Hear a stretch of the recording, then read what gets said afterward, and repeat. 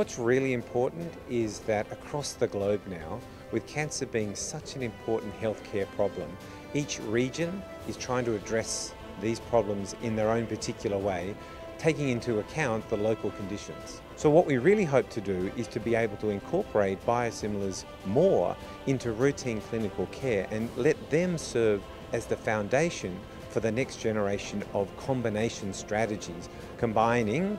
targeted therapies, chemotherapy and immunotherapy, what we call precision oncology.